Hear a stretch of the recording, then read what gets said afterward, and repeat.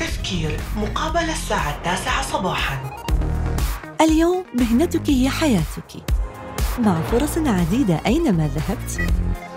حتى عندما تتزاحم الحياة لا شيء يمكن أن يوقفك. لأنك دائما متقدمة بأكثر من خطوة.